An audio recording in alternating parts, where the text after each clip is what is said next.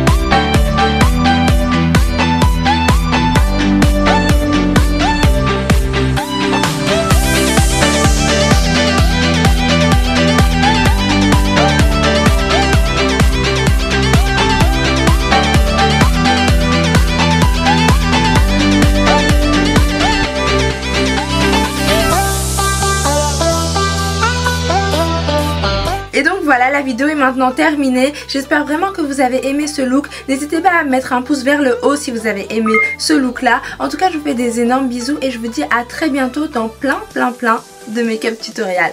Ciao ciao